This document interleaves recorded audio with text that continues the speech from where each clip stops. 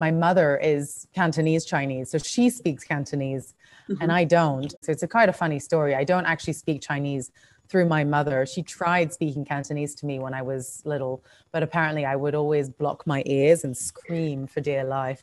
And she would go, Okay, I'm going to stop then. I didn't like it for some reason.